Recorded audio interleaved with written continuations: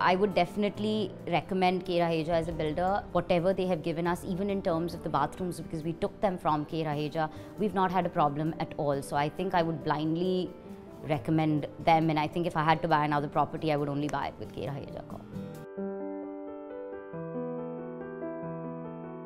The balconies are amazing. Actually, we've thoroughly, thoroughly enjoyed them.